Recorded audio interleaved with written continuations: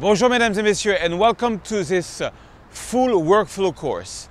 My name is Serge Ramelli and I'm going to take you to Paris, I'm going to take you to Israel and show you exactly how I work from shooting, compositing my photos to post-processing.